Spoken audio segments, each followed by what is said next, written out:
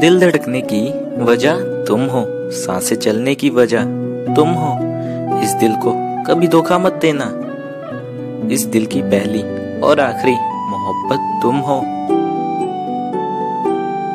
आप मेरी वो खुशी हो जो मैं किसी को ना दू जान। कभी ये मत सोचना कि याद नहीं करते हम। रात की आखिरी और सुबह की पहली सोचो तुम।